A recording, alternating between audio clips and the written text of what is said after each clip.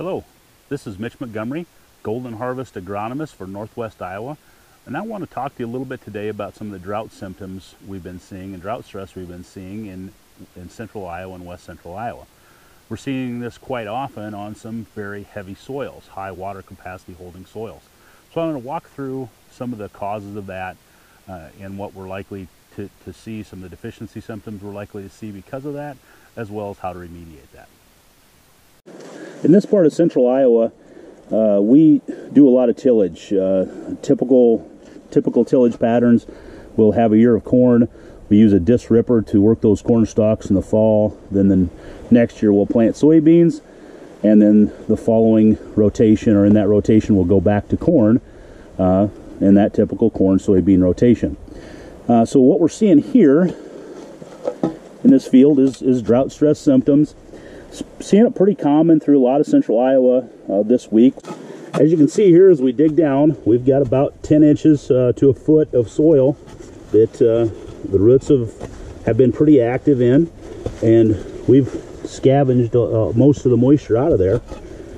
But you see a layer right here, like I said, about 10 or 10 or 12 inches. And as we break the soil back, as we dig in the soil, we're pretty consistently breaking that layer off in these dry conditions at about that, that same depth. So we're very dry in the top 10 inches. As we dig below that layer, below that 10 or 12 inches, you can see we've got considerable moisture at depth. So below that, that 10 inch layer, we have considerable moisture.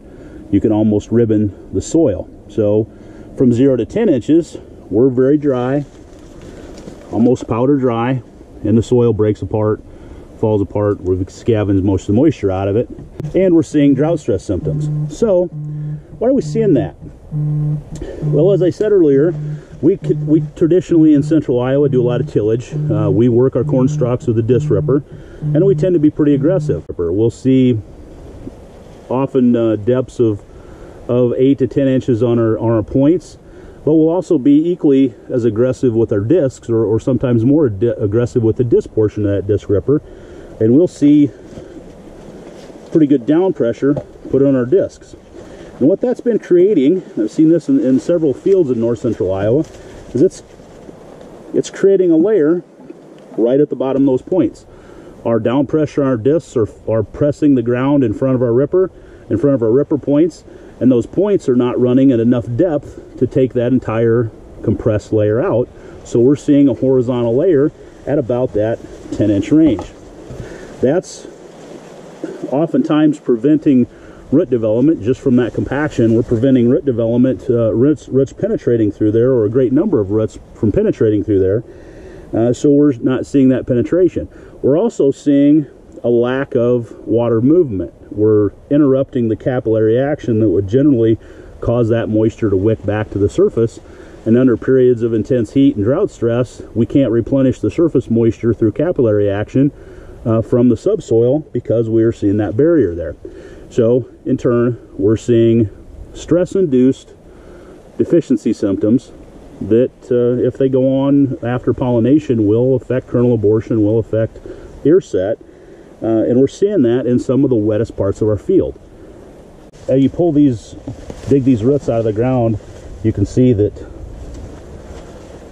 the root ball breaks off right at that tillage layer. So we had our points running, our discs running uh, somewhere above this layer. Our tillage points were running about here, and we created a compaction layer right at about that 10 to 12 inches. You can also see another layer closer to the surface where we see another horizontal layer that would be consistent with field cultivator depth. So in a year where we had some of the, the fastest uh, or the one of the fastest planting windows in, in central Iowa uh, for planting corn and, and west central Iowa that we had and we had very dry surface conditions, we had some subsoil or subsurface that really wasn't quite fit. Uh, and that is showing up even today. As we deplete that, that surface layer or that tillage layer, and we cannot draw any moisture from that subsoil, uh, we're seeing stress. So we have this layer that's affecting water movement in our soil at that 8 to 10 inches. What do we do about it?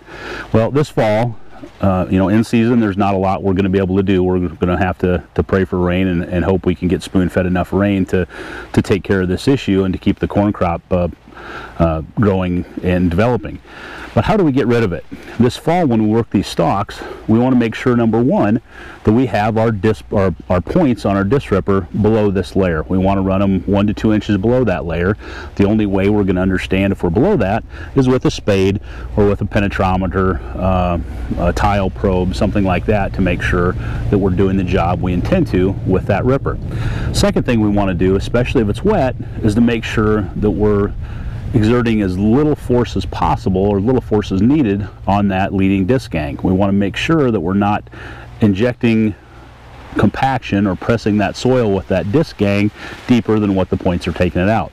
Rule of thumb, I want to keep that disc, bottom of that disc blade no closer than about five or six inches from the bottom of those points. Again, you can verify that with a spade as you're digging behind that ripper. The soil conditions have really been the, the issue or the cause of this. We've had numerous falls in the past few years where we've had to do tillage when it's been very wet. So as long as we continue to do that, we're going to continue to have to be very careful about what horizontal layers we're placing in our soil at depth.